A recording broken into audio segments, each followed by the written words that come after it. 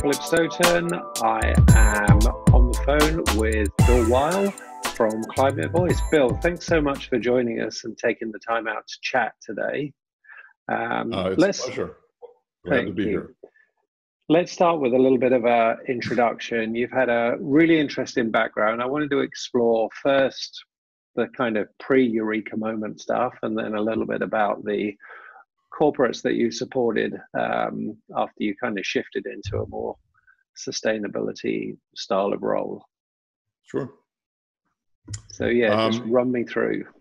Yeah, so I started my career in computer science, actually in academia. I got a PhD in computer science and taught at MIT and Cambridge, Mass for 10 years, I guess. Mm-hmm.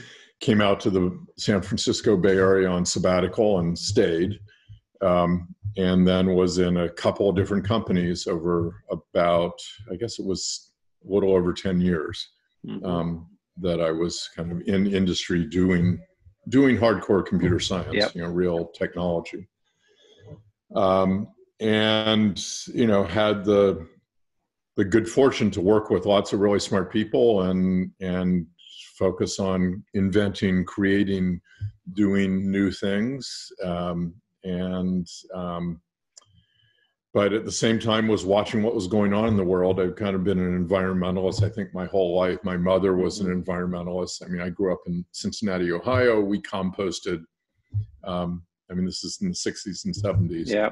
Nobody composted um, and, and, we did we recycled.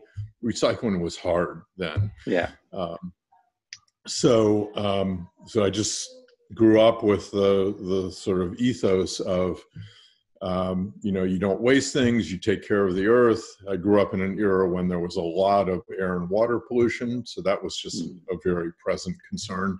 The air quality in cincinnati in the summers was awful a lot of the time. Um, and and so it just was something that that i cared about but it wasn't the field i went into. Yeah. Um, uh, and but in early 2000s, I was just getting more and more worried about paying more attention to climate change, global warming, climate emergency, whatever. Mm. Pick your favorite phrase these days. Yeah. Um, and um, so I decided to make a career shift. Bold, bold, bold and brave. Yeah. Yeah. So, well, I, I, mean, honestly, I credit. I, I would say that was not something I learned growing up. My dad mm. had pretty much one job his entire life until he died. Most of his peers, my mother had, I mean, she volunteered. She had lots of unpaid work, um, right. but did not work for pay outside the home once she had kids. Um, most of my parents' peers had, you know, a job at a place, and you know that was, you know, a career at mm-hmm. one place. So just even leaving MIT and coming out here and then staying, I mean, sabbatical was, I think, understood in their world, but then deciding to, to not to go back was yeah. um, insanity. Scary, um, and yeah. then changing fields. So I did not learn that. I mean, it, it, it was it was scary. Mm. But I give my wife actually a lot of the credit for inspiring me. She went back to school um, in 2001 to become a nurse practitioner, and she'd been doing public policy work on low income women's and kids issues, and she decided mm. to go into you know healthcare and direct service and went yeah. back to school to do it. It's like, well, that's kind of a big change. Do it. Yeah. So, yeah. Yeah. She can do it. I can do it. Absolutely. No, no yeah. it was inspiring. yeah, and I think what's interesting there is you know two two consecutive fears: fear of change and um, fear for the planet. And uh, right, obviously, one was greater to overcome, great enough to overcome. Well, and I would other. say that that has been for me, honestly, the the there are lots of things I feel I'm not sure I know how to do. I'm afraid to try. Um, the fear of, well, if I don't, then you know, mm. catastrophe might strike. Um, yeah. is a good motivator. It is a motivator, absolutely. So, how did you make that change, and what was the um, what was the first first position post this yeah. career shift? Um, I didn't want to go back to school. I mean, I I already done one PhD. That that seemed like enough. Um, I didn't have a burning desire to do that. so I wanted to find something where I could leverage my technical background, sort of broad science and engineering background, um, the business experience I'd had, and in the last several years at Akamai, the job I left at the end of 04, um, I had been chief technology officer. So I was on the technology side, but it was very much technology and business strategy mm. and partnerships yeah. and so on. So I got a lot of exposure to um, not just the technology side of the business, but how it fit in with yeah. lots of other things. Um, so, so I had, um, I think, a, a, pretty broad base of experience, and I wanted to find something where I could leverage that and do something useful for the hmm. climate. Mm. and um, spent about a year on a on a walkabout, shall we say? Um, uh-huh. Uh, you know, uh, talking to people, networking. I probably talked to somewhere between, I didn't keep count, but I, I sort of wish I had between 100 and 200 people over the yeah. course of that year. Um, and um, uh, basically getting advice on, you know, okay, I'm not a material scientist, I'm not a physicist, I'm not a mechanical engineer, mm-hmm. I'm not going to go design better wind turbines or solar panels or whatever. So I'm yeah. not going to do that kind of technology but I understand engineering. I understand science. I understand a lot about business. Yeah. Um, what what could I do? Um, and in the end, I was lucky enough to land. I was in the right place at the right time, and I landed the job at Google. Mm-hmm. Um, uh, they so this was early 06 when I started there. Um, they'd gone public a year and a half earlier. They'd started Google.org, which is their philanthropic arm. One of the three major, major pillars of Google.org was climate. Um, and on the Google.com side, they wanted somebody to figure out what the, the company, not the mm. foundation and philanthropic arm, could do about climate. Yeah. And okay. they hired me to figure that out. Yeah. Um, cool. And they, that's a big role. for Someone yeah, that's a, a big role for someone with no experience in um, in this particular field. So they obviously right. they saw something and they saw saw some passion and it, and I guess it gelled with what they were trying to do at the time. Right. Right.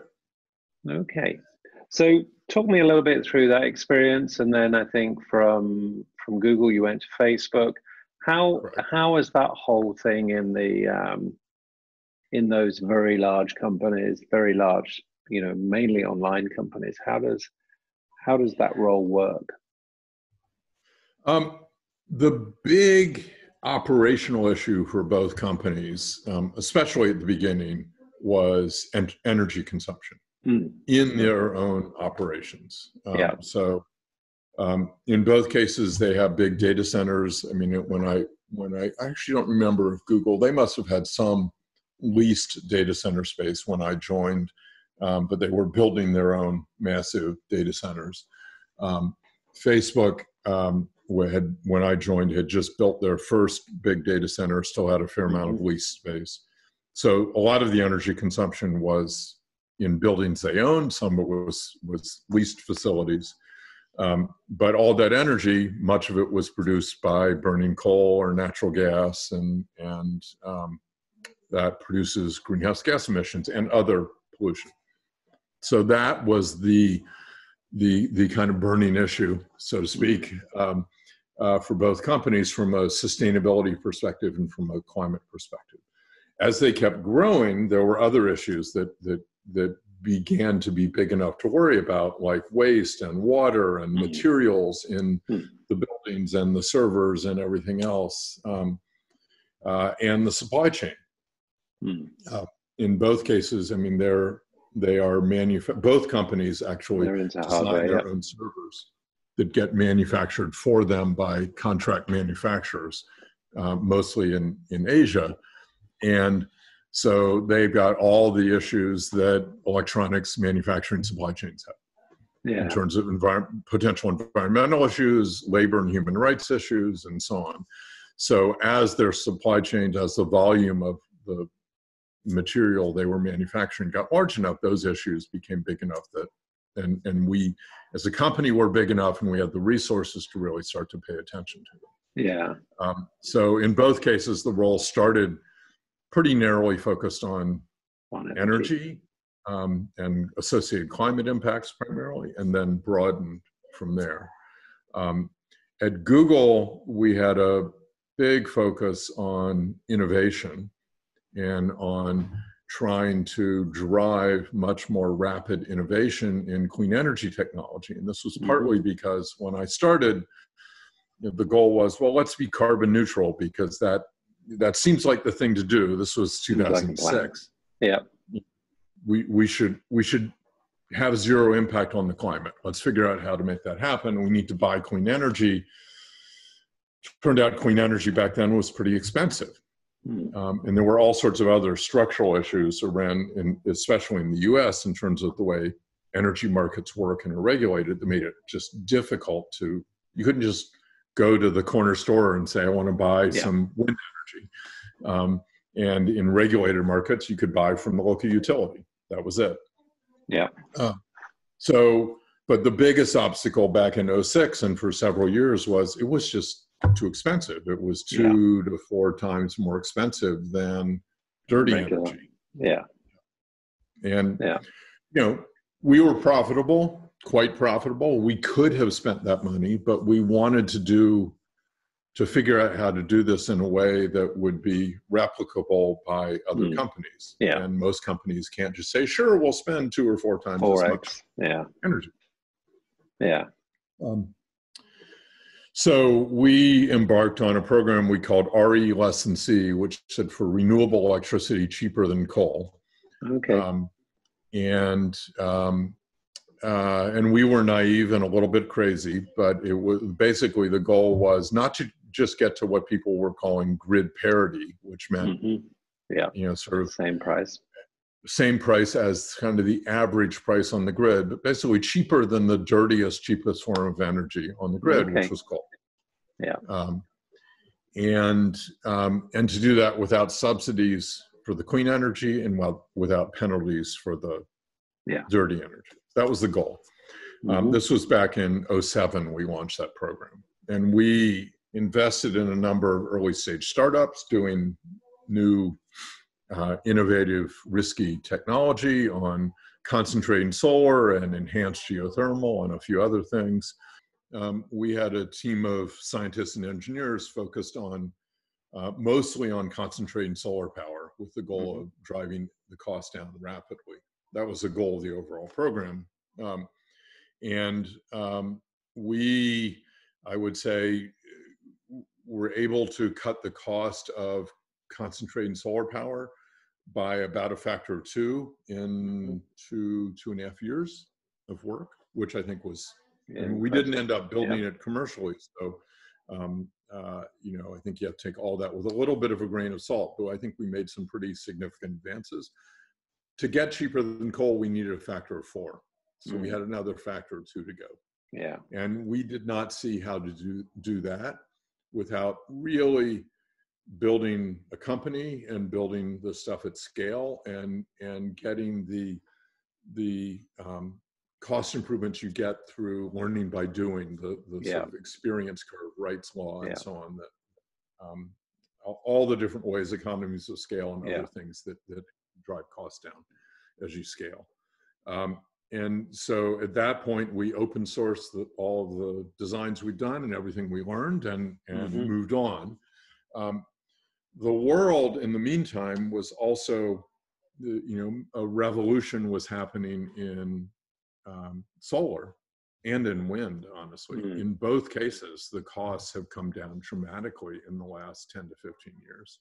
Yeah. Um, and in retrospect that was quite predictable um, though um, it basically a lot of it was driven by increasing scale in those sectors that has driven by, driven economies of scale, learning by mm-hmm. doing, um, the, fact that they have enough revenue and profit to invest in R and D across the entire value chain, from yeah. basic uh, solar cell technology to yeah. manufacturing to the mounting systems, racking systems they use to put on your roof or in a field and so on. Mm-hmm.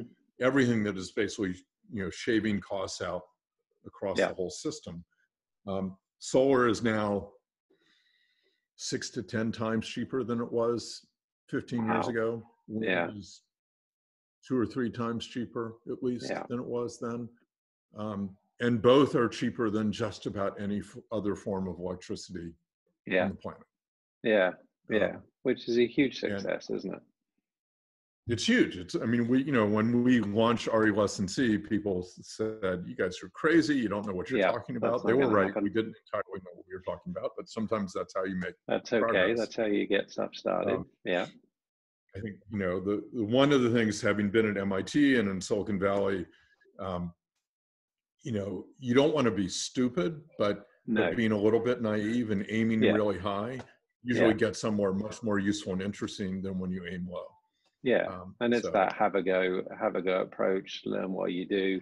Right. You know, learn to steer the plane while you're flying it, kind of Right. thing. It, you know, it, it Um, can work. So, so now, and as of a few years ago, basically, it, it became cost effective for companies to buy clean energy. Mm. Um, okay. And when I moved to Facebook, at that point, I think we had done either one or two large wind purchases at Google um, by the time I left, because it took several years for the cost to come down enough that we could Yeah. find a wind project somewhere that was cheap enough.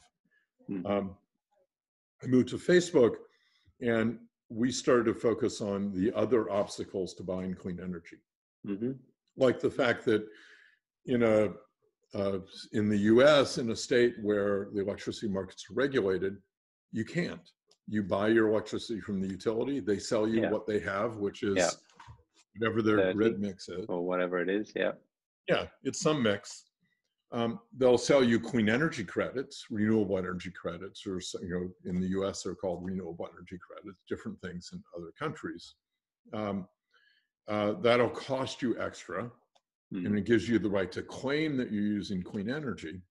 Yeah. It might or might not mean that any additional clean energy ended up on the grid. And so we started looking at, and this we've done some of this at Google, but at Facebook we started looking at, well, how how can we get either work with these utilities or go around them Yeah. to um, buy clean energy in a way that doesn't cost extra, that actually adds new clean energy to the grid. Um, Mhm. So we're having real impact. We're not just buying a marketing claim. And and how can we get this to scale, not just in our own operations, but much more broadly? So we we were part of a what ultimately has become a very large group of companies, but we were one of the the founding companies and really helped drive it that, that created the Renewable Energy Buyers Alliance, Okay. um, which now has 200 plus companies all working together to share best practices, to Mm. um, change policies so that where the regulatory structure makes it hard to buy clean energy, can change the Yeah. policy so it's easy, and so on. Um, so basically, I'd say at you know at both places we're looking at um, the question of we we we want to clean up our operations. Yeah. Yeah. There are you want to be an example. Not. Yeah. Right. We want to set an example, and we want one to do our part. Hmm. Um, but there were obstacles that we needed to go um, Yeah. solve. And Yeah. the obstacles, I'd say, in, the, in that most of the time at Google were more about technology. At Yeah. Facebook, it was more about regulatory and- issues. Yeah, regulation. And just switching gear a bit, you mentioned um, obviously energy a key part of it, but you also mentioned the uh, manufacturing and supply chain footprint. What what kind of work was being done there, and did that did that drive results? Did that have an impact, or is that in an earlier stage? Um, that was, I'd say, earlier stage, Mm-hmm. and uh, at, at least for, I mean, I think those companies have continued the work since I left, and and it's more advanced now. Um, and also, um, at, at the same time, there were plenty of other companies that were manufacturing electronics. All the major computer manufacturers, Mm. the folks who make TVs and monitors and other consumer electronics and so on, who'd been dealing with these kinds of issues for 5, 10, 15 years. Yeah.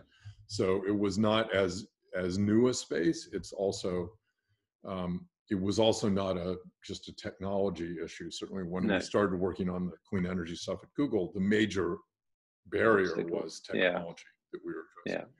Um, but it was really about um, the systems involved in um, you know different cultures, different legal systems, Yeah. and dealing with manufacturers in other countries, different labor standards, how to reconcile labor standards in one place with another place, and how to really have an influence on suppliers Yeah. um, to get them if their if their labor practices aren't good or their environmental practices aren't good to get them to actually step up and and yeah. do better. Yeah. Um, And the tool you have there is buying power, I guess, largely. Um, you know, tool obviously is pressure power. as well. and but when we buying when we started our buying power was not that great because our volume was not that great. Yeah. And over time, as we kept growing, then we had more more leverage. more influence. Yeah, yeah. And then there are obviously other large consumer electronics brands that that are much more hardware dominant and they have more influence. Were there consortia there? Were there active Yes. groups that you could take part in that really Yeah, wanted so their- there was a group their called the EICC, the Electronics Industry Coordinating Council, I think, and they've since Yeah. been renamed, I think, the Responsible Business Alliance or something like that. But Okay. the- so there were um, uh, industry groups uh, Hmm. where companies that all had the same problem with they Yeah. needed to work with And their the suppliers. and yeah. on. Yeah. Um, and and we got involved with those and worked with those. Um, Okay. Yeah. So fast forward to where we are now, and I'm going to catch up with um, with the with the net with the current part of your career as we go through this. But um, COVID nineteen, big challenge for everybody, big challenge for manufacturing, big cha- challenge for supply chains. One of the things that kind of broke on the news is very early was hey, look, there's some good news. NASA's taking pictures and there's less pollution over China because all the factories are closed. Um, do we feel really two questions? Has there been a sustainability or climate dividend? And are there lessons learned? Um, I really don't like the people who say there's a silver lining, the air is cleaner. Because Mm, people are dying. Uh, yeah. Um, and yes, the air is cleaner. I think the the the only way in which I I would say that is good is that it has shown people who've never seen air that clean, Yeah. or water that clean, that we could make choices that would give us a very Yeah. different world.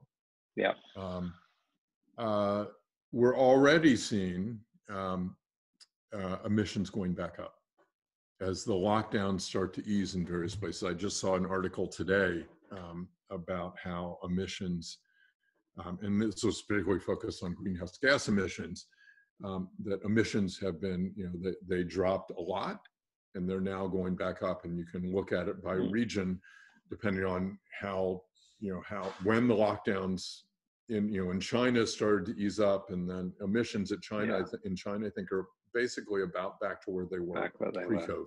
Mm, Um, Yeah. And in other countries like the U.S., they're still down a fair amount, but they're Yeah. up from their their trough, They're- right? They're trough. So, um, you know, it is. Some people say, "Oh, this shows we can reduce emissions." Well, I mean, to some extent, Yeah. like we didn't need to do this awful experiment of having a pandemic to know that if we shut down the economy, um, emissions would go down. Yeah. Right. Yeah. Um, we can reduce emissions. That's never been in doubt. Yeah. Um, the question is, what will it take to do that in a way that is sustained? And so I think the the silver lining is maybe this shows people that there are choices we can make, yeah. but it's choices we have to make. It's not about everyone stay home and stop driving Yeah. and stop flying. It's about let's do what we need to do, what we want to do, um, that helps us prosper and live good, fulfilling lives. Let's do it in a way that doesn't treat the atmosphere as an open sewer, Mm. um, and that helps preserve a livable climate for all of us. Yeah. Yeah. Um, and and to me, that's the that's the dividend maybe from COVID, um, Yeah. if there is one, which is Yeah. that um, it shows people what is possible with a different Hmm. set of choices. But it's Yeah. not choices that mean st- stop the economy, because in No. fact, emissions they've dropped. They haven't dropped actually as much as you might have thought. Like no one's driving. Why is there? You know, but but in fact, um, you know, Amazon and others are still delivering lots of stuff to us. Yeah. You know, cargo is Yeah. still moving. Um, Yeah. ocean and air freight is still happening. Yeah. Uh, f- trucks are still driving around uh, with stuff. Um, and so, and lots of other things are happening. Some factories, many factories are still going. Yeah. Um, and all of that produces emissions. yeah. Um, Yeah. And, Well, and yeah. so, Here, twenty. We're we're like a twenty percent increase in energy usage at home. So, you know, energy Right. might have gone down in the places that we would normally go to during the day, but we've actually cranked Right. it. You know, we're we're somewhere all else. we're, That's right. Our yeah, lights are well- here in my house often, Yeah. right? You know, and we're potentially all heating a home instead of heating a heating a shared space and that kind of brings me to my next point which is this um, you know post pandemic um, if we've learned something how do we as you put build back better how do we do that and when we look at things like okay well you know maybe we've realized that offices aren't such a necessity how do we then make sure we're doing the right thing and we're not actually pushing everybody home and asking them to heat their house all day and you know they're not sharing bills so they're using more energy? How do we how how do we build back better? Tough question. Um, right. Well, I think you could separate that into how do we, you know, if the pandemic hadn't happened and we weren't having to rebuild, Mm, um, how could we build a better world and and a world that is zero carbon, cleaner air, cleaner water, etc. mhm. Um, I'd say what the pandemic gives us is an opportunity. yeah I mean, it's not that suddenly all the you know many buildings have been destroyed and we need to rebuild them. And when we talk about building back or rebuilding, um, it's about building back the economy. restarting yeah The, and the question is, um, it, it gives us an opportunity. Governments around the world are spending trillions of dollars, euros, et cetera, right? Mhm. Um, and and it's it's our money, it's public money, right, that is being spent to keep businesses and individuals afloat, to to keep the economy from turning into a you know horrific Great Depression again. yeah Um, uh, and as we spend that public money, we have a choice of how to spend it. We have many choices, you know, millions of choices, honestly. Um, and we could choose to spend it basically to bolster and support the economy as it's been Mhm. and to um, help the fossil fuel companies um, basically stay alive and keep Mm. doing what they've been doing. And in fact, if we're going to invest in infrastructure, we could invest in more oil and gas pipelines and more infrastructure that helps grow the fossil fuel economy. yeah Or we could invest it in things that will um, lead to a much cleaner, lower, ultimately zero carbon economy. We could Yeah. lay the foundation for the the decarbonization pathway we need to be on. Mhm. Um, and I think the fear a lot of us have is that if we simply take um, this situation and treat it as it's a pandemic and an economic emergency, and we need to invest money, public money, Mhm. to prevent catastrophe on that front. And we basically applied the tourniquet and stopped the bleeding uniformly across the economy. Um, and then start to rebuild, you know, inject money into various places to create jobs and create infrastructure um, without regard to what does that mean for the long-term future. the other catastrophe We'll be spending lots of money on things that'll basically be stranded assets and that will, but at the same time, will lock in a high carbon pathway for many years to come. Yeah So building back better to me means um, uh, if we're going to support companies that are high emitters, let's put conditions on the support we give them yeah so that they are forced to, required to begin to shift rapidly onto a much lower emissions pathway. Yeah. yeah And that we invest in, invest that public money in things like wind and solar and transmission and batteries and grid modernization to provide more flexibility for yeah. um, uh, intermittent resources yeah and, and create jobs. um, electric vehicle infrastructure Yeah. and um, uh, know, various things where government spending or incentives could accelerate the transformation that we need to make yeah. from high emitting technologies to lower zero So much lower. Yeah. Okay. And then when I when I look at that specific in the specifically in the field of manufacturing and supply chain, um, if you're a ma- managing director or a CEO or a CTO or a sustainability czar at one of these very large uh, contract manufacturing companies, what can you be doing to build back better? And bear in mind, they've got pressure on them from various different avenues to adjust their supply chain for less, uh, more resilience. So they're looking at more of a just in case policy instead of a just in time policy. They're having to consider sentiment in the market as to where where their stuff's made. What can what can they actually be doing? What should they be doing? Um, it is interesting, you know, the, the supply chains that we built in the last 20, 30, 40 years, that Mm. that we have become, as a society, masters at wringing out uh, inefficiencies, at, at Mm. rooting out inefficiencies and making things super efficient. And I think Yeah. the pandemic, it, it in part, has exposed how, um, as you said, it, we, we missed the just in case. We've lost Yeah. the resilience. Yeah. Um, and um, I think that that that is something that's important for people to think about, and and it's going to be interesting to see if there's always the danger that some competitor will decide, well, I'm going to just make things way more efficient and be able to make things at lower cost and Mm. undercut you in the market. Um, and you might be more resilient, but if there's no major event that where that resilience matters in the next five Yeah. years, you'll be out of business. Yeah. And so there is almost a race to the bottom that that Yeah. our competitive structures uh, push. That may mean that we need public policy or some kind of voluntary joint Mhm. agreement among companies to ensure adequate resilience.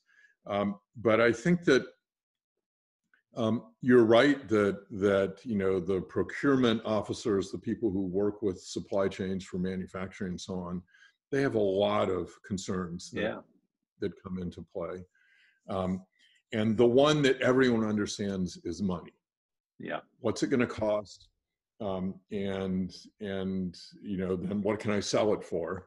Yeah. Um, so what's my profit going to be? Yeah. Um, uh, I think that what the pandemic has shown is that you there there are risks that people weren't Yeah. paying enough attention to that you need to pay attention to.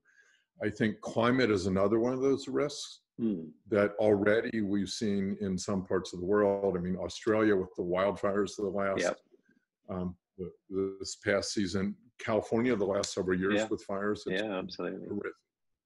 Um, so it's not, you know, we used to think five, ten years ago, climate is a remote uh, Yeah. concern. It's Danger, distant yeah. for me here in California. It's distant in time. Um, uh, and maybe it's an issue in some parts of the world today, but that's far away. It's not my Yeah. concern. Um, I think for more and more people, it's a concern and here present. and now. Yeah. Um, Yeah. and and and it's a systemic issue much like the Mm. pandemic it's not just Yeah. that, oh my workers might get sick It's the Yeah. whole economy might shut Yeah. down Yeah. my supply chain might shut down Yeah. my customers might stop buying right and and i think that that this is where i think people need to understand that the way one addresses systemic risk is not just through individual action Yeah. it's through Yeah. collective Through process. and decisions. yeah. And that's Yeah. where public policy comes in. Yeah. Um, and so I think in uh, there there's kind of two two ways I would come at that. If I you know one is what needs to happen, the other is what's the motivation for a company to, Yeah. to actually do it. Yeah. And I think part of what needs to happen is we need companies to take the steps in their own operations.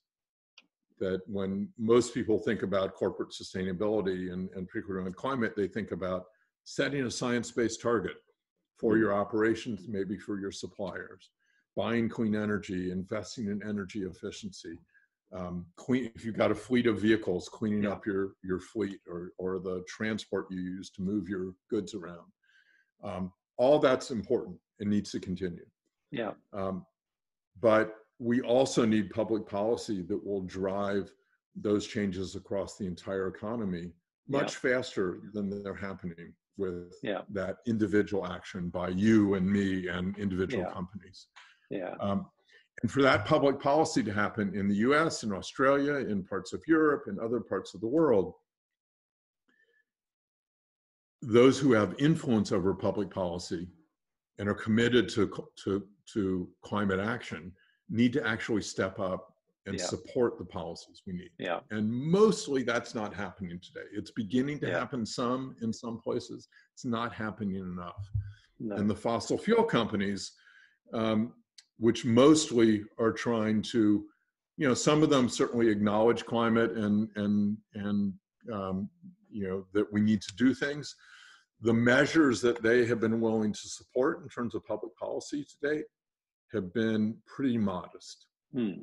and they they and partly because i think the measures we need mean that their business is, Businesses. is Yeah. going to decrease Yeah.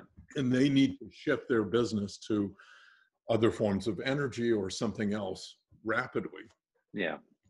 i think they're stuck i don't think they know how to do that No. Um, that maneuver. so they- they use their influence um, in a big way all the time everywhere to delay or stop progress on climate Yeah. um, the status and- quo is where they benefit. Yeah, right and and we need other powerful players major Yeah. companies to step up on the other side in favor of climate action in favor of the policies we need um, or we're not going to move fast enough and so Yeah. big companies that have big supply chains need to not just clean up their own operations they need to stand up as champions for the Yeah. policies that will clean up The whole every supply place they chain, operate tier by tier. Yeah. What I'm really interested and in the there. reason for that Yeah. uh, just you, you so so you know and and why should they well a the world needs it b um, increasingly their customers are going to expect Yeah. it Yeah. and c even more quickly i think and this is part of what we're trying to do with ClimateVoice which is the initiative i started three months ago hmm um, increasingly their workforce is going to expect it Yeah. Both Yeah. their current employees and but I think even more rapidly future employees the, the current you know the students who who are in school today who Yeah. they want to hire next year or the year after Yeah. are going to want to work for a company that really is all in on climate that is committed across the board in everything it does Yeah. including using its political influence Yeah. to work on Yeah, and if they have to compete for those uh, members of staff, that becomes even more critical. Before we get on to ClimateVoice, because I do want to talk about that, I just wanted to touch on motivation when I look at it from a supply chain point of view. And we've had this discussion not with respect to sustainability, but also with respect to resilience. What the um, what we found is generally supply chain managers aren't rewarded for having the most resilient supply chain. They're not rewarded for buying insurance when that insurance has never been called in. They're rewarded for taking two points a quarter off of their complete bill of materials. Is that the case with respect to sustainability? And in the two companies that you worked with, which did have a very sustainable vision, were they encouraging and rewarding and having KPIs that related to sustainability? Oh, absolutely. I mean, you know, I and my team certainly all of our goals were related to sustainability, but up the management chain, Hmm. um, you know, those goals matter. You know, we set very aggressive goals on clean energy very Yeah. early in, at each company, um, and But what about the procurement guys? Um, that took time. Yeah, Um, you know, I think that that um, part of it was we had to convince them that it might cost a little more money, but not a lot, yeah, but that it was important, and we had to make the case for why it was important. So it Mm. would matter, you know, that it mattered to uh, the employees, it mattered to our customers or users, and the um, brand, and yeah, Right. So I think that, and to investors potentially. So I think that that um, in the end, this is why um, you know I think companies, some companies will do this stuff purely out of the goodness of their hearts, but in the end, they are they all operate in a capitalist environment. Yeah. Where they are judged based on the bottom line, the financial yeah. bottom line. Yeah. And if you're going to do something that has a significant negative impact on the financial bottom line, there better be some other really strong positive hmm. reason for doing it. Yeah. It ultimately translates into finances, honestly. Yeah. So yeah. if that means reputation that affects sales, yeah, that um, hits the bottom or line. Or that hits the bottom line. If it means that investors start to bail on your stock, um, well, it may not hit your your revenue, but it starts to hit stock performance, which is going yeah. to affect perception. It'll affect, yeah. you know, for companies that give stock options, it affects and the C-suite bonuses. Yeah. Right. Right. Yeah. Um, so in the end, I think, I mean, it's it's. I, I think this is uh, honestly a problem with our current model of how companies operate. Certainly in the yeah. U.S., but I'm not sure that it's that different uh, in Elsewhere. most other countries. No. Um, that the thing that people learn how to think about in business school and then in business is finance. Yeah, it's the stock price and, and it's the quarterly bottom line, isn't it? That quarterly earnings right. call. And and so every major decision, you know, everybody in a company has, you know, they've got a budget, they've got a mm. headcount, you know, and people budget, they've got a a financial budget. You can spend so many dollars this quarter. We're expecting you to generate so much revenue. Yeah. Um, so they're always asking the question, what's the cost? What's the benefit? Yeah. And most of that's about the financial costs and benefit. Yeah. Yeah. Um, and okay. I think we need to, you know, you hear more and more businesses these days talking about purpose um, and and stakeholder um, value, stakeholder yeah. capitalism as opposed to shareholder value. Um, I don't think most businesses uh, know how to think about that in a way that when there's a hard decision to make, yeah. it won't be basically the financial concerns that will win. Yeah, the wins. Yeah. And I think that's a big problem because they, you know, you talk about the business's bottom line as being the thing they're most concerned about, but no amount of money on their bottom line is going to help if the planet's bottom line is is severely negative. Right. So that's where the impact, um, you know, really ends up. Let's wrap up by talking a little bit about what you're doing with ClimateVoice and where people can get the kind of resources they need to to help them build back better and um, create something yeah. that is more sustainable and how they can get involved. Well, so with ClimateVoice, um, back to the, the, that discussion about the, the financial bottom line versus the planet's bottom mm. line. Um, at a high level, you can think about what we're asking companies to do, what we want them to do, and, and what we are trying to, to marshal and amplify the voices of many people to tell companies this is what you need to do. Mm-hmm. Um, is to, as we put it, go all in on climate. And what that means is every major decision they make or every decision should be evaluated based on the climate bottom line, the planet's yeah. bottom line, its impact on the climate, not just on its financial bottom line. Financial bottom line matters. Of course, companies are that they will never stop worrying about that, and yeah. they have to. You can't stay in business if you lose money, no. um, you know, every quarter. Um, but you also, as you said, you can't stay in business if the planet ends up being unlivable. Yeah. Um, but you know that's not next quarter. That's several years away. This is where we need to make collective decisions yeah. um, to to change that. Um, so, but the kinds of decisions companies make are um, they build buildings, they build factories, they they buy energy, they mm-hmm. buy fleets of vehicles, or or outsource things to other companies that make those same decisions. Um, so they should be evaluating every one of those decisions based on its impact on the climate. That's what we've seen over the last decade. Now there are hundreds, if not thousands, of companies looking at their internal operations from yeah. that perspective. That's what science-based targets are about, um, and you know RE100, other initiatives. Um, we need them to also use that same lens about what's the impact on the climate with everything else they do. So they sell their products, and their products are used by customers. What are they used for? Yeah. Google, about I think it's now three weeks ago, so early June, announced um, that they would no longer be selling custom AI machine learning solutions to oil and gas companies Right. for oil exploration. So there's been uh, there's been a series of kind of news cycles over Mhm. the last year year and a half about particularly Google, Amazon, and Microsoft having significant business units devoted to selling AI technology and not just saying we have the technology you can use it but we will devote a team of engineers to building Yeah. a custom solution Yeah.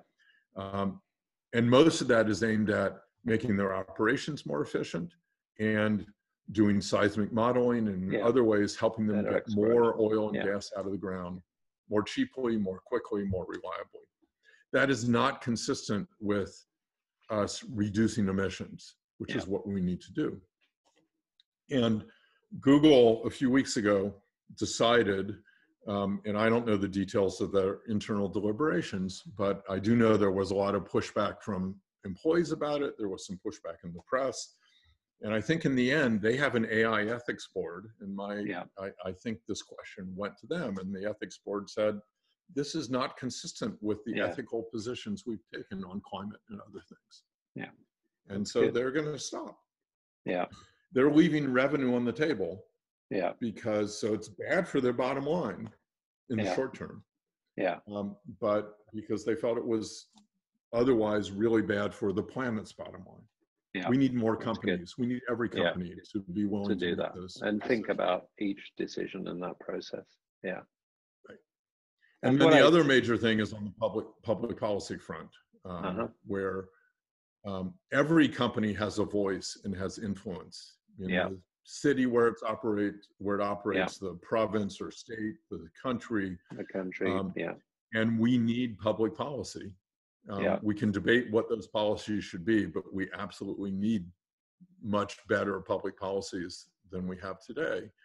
Um, and when companies stay on the sidelines and are silent on an issue Yeah. like climate, they allow the very powerful people who are trying to Yeah. preserve the status quo to dominate the debate. Yeah. And that needs to stop. They need to step up. Yeah. Yeah. One of the groups that you seem to be doing an interesting job mobilizing is these students, potential employees, you know, actually getting the grassroots, the staff to actually put pressure on the company. Is that something that you've been very deliberate in doing? Yeah, so that's so our our model for change is, um, it, you know, we want to take this what people think of as long-term, far-away problem of climate, and and turn their inaction on climate or their silence on climate policy into a near-term problem for their company. Yeah. And and if they act, we want to turn that into a real advantage. Mm -hmm. Um, and so we are organizing, mobilizing, amplifying the voices of students in their role as future employees and of employees. And, and we're three months old, so we're just getting started, but we've got, you know, hundreds, I think maybe now thousands of, of people who've signed our pledge, basically saying, I want my employer to be all in on climate to Uh-huh. be a strong, consistent advocate for climate policy everywhere they operate. Um, and that will be a big factor in my choice of where to work. Yeah. Either if I'm a student looking for a job or I'm a current employee, but it's something that I'm going to care about. Yeah. And we've seen in other um, public policy issues, certainly in the US, um, that companies can be motivated to speak up on issues that don't directly affect their core business when Mhm. their employees make clear that they care Yeah. and when students make clear that they care. So we Yeah. are working to arm employees with information about here are the kinds of policies that your company should be supporting. Yeah. And and a lot of people, when you raise the issue of policy, they say we need a price on carbon, and they are absolutely right. That is not the only policy. and politically, it might not even be the first one because the price on carbon can be actually politically very hard to get Yeah. passed. Yeah. But clean, clean energy standards, clean building standards, clean vehicle standards, Yeah. um, uh, subsidies for early stage technologies that help them get to scale so they can Yeah. can you know, drive them down that experience cost curve. Yeah. Um, there are lots of policies like that that um, tend to be, you know, in the U.S. and other places, they tend to have bipartisan support. They Yeah. actually can be more effective than a modest price on carbon in driving Yeah. uh, rapid change, um, and they're relatively cheap. Yeah. Um, so we're we're in the next few weeks we'll be releasing a policy guide for companies. There are lots of people out there working on policy. They know far more about policy than climate policy than than I do, Yeah. than people on my team. Um, they have not translated that into um, something that people in companies, whether it's corporate executives or the public policy teams or grassroots employees who simply care about climate, something that they could could internalize and understand that would help them say, you know, my company should be supporting the following policies Yeah. everywhere it operates. Yeah. So that's we're Okay. in, in a few weeks we're going to be releasing a guide that employees can use that to to take to their executives that the public Yeah. policy team can use. And so Okay. And that's going to be on ClimateVoice. Is it .com or .org? dot .org, climatevoice.org. Dot org. climatevoice.org and we'll put that in the url with this on the uh, on on the recording and and if people you know you asked about what could people do so you know if if they are if they work for a company and they care about climate they're really committed to climate they want their company be, to be more committed well when that policy guide comes out they can take it to yeah their executives if they're an executive to their peers and start Yeah. saying you know we really need to actually step up Yeah. um, they can go to climatevoice.org and sign our pledge um, to add their voice so that we can go to companies and say, you know, we've Yeah. got so many thousand people um, uh, who work in the field that you need to hire people in who care about this Yeah. and who say it's going to matter in, in, in where they choose to work. yeah Um, and all of that together, I think, will help influence companies and, and move them. and create some additional pressure and as i say you know access to that kind of information the policy guide doing the all-in pledge on your website i think is um, is all hugely valuable to moving that forward and getting in at the grassroots because there's a generation of students and staff and you know people at the moment that really that really see this as a clear and present issue and and and want to do something about it. They might not be currently in the c suite but they they sure as hell are going to end up there and are going to influence the products that that are sold and uh, And they can influence the C-suite today. Yeah, absolutely. Maybe not a single individual, but But together. And that's what we're yeah. trying to do is give them the Yeah. platform to help do, do that together. Yeah, and the raw information, and for me, that's that's that's equally important. Having that really good data and being able to kind of almost audit what you're doing and figure out what are we doing that are the right things, what are we doing that maybe looks like the right thing, but you know maybe isn't. So yeah, challenges ahead, but I think it's um it's it's exciting to have that stuff in place that that helps. Bill, thanks so much for your time. It's been an absolute pleasure to chat to you. We'll uh, I'm sure we'll touch base again soon. But in the meantime, thanks to you and Well, thanks thank to you. everybody for watching. The opportunity.